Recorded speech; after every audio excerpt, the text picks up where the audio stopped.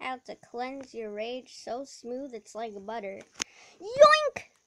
Find a stuffed animal or squeezer, I don't even care anymore, and destroy it with your own hand or a weapon.